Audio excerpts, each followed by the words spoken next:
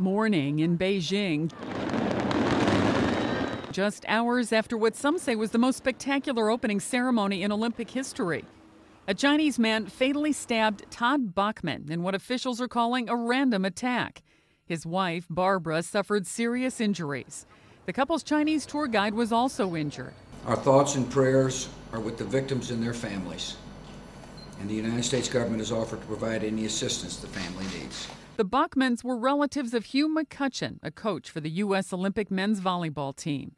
After stabbing the couple, the assailant committed suicide, throwing himself from the 13th century drum tower.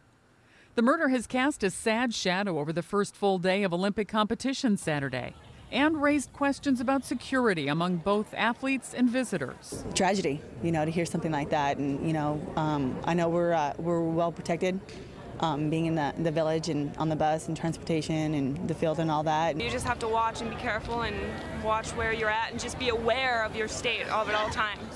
Todd Bachman was the chief executive officer of Bachman's Inc., a family owned home and garden center based in Minneapolis.